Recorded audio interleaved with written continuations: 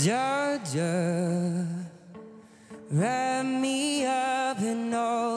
I wrote Until I Found You in May of last year.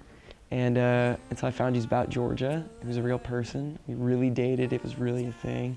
Yeah, we, we had tried to date in August of 2020. And so she was going to come to California where I was living at the time in 2020. And uh, some things happened with my family that just really scared me and just made me nervous to have her come and be a part of that so soon in a relationship, you know? And so I pushed her away. And uh, we spent like five months apart, not really speaking too much. And then I was getting ready to move to Nashville. And uh, I, I, reached out to her and we reconnected in November and I moved in December. And uh, drove up to, to the state she was living in. I took her out on a date and we kissed and that was it. And so the song is reflecting back on that time when I lost her and then when I when I had her again and you know the lyrics speak for themselves. You know I would never fall in love again until I found her. But yeah and so the song is still very important and she sings on it too. She's the background vocals fun fact so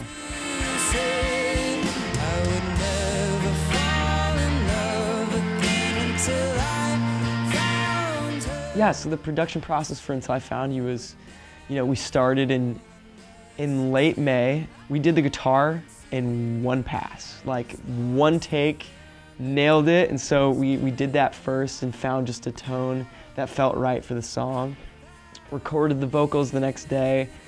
And then uh, the next month in June, uh, Georgia came into town and uh, she was seeing me for a show. And so she got to come into the studio and we did the song together and she sang and, and it was just amazing. It was like one of the most special moments of like making music, I feel like, because you're making it with somebody you love, and it's like a song that you wrote that's filled with so much love, and and now it's cool that like it's a soundtrack for so many people's love stories, and it's just like I think back on that moment, and it's just like it's so nice, yeah.